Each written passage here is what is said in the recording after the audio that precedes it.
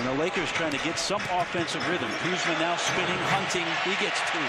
And I like that young man, Kyle Kuzma from Flint, Michigan.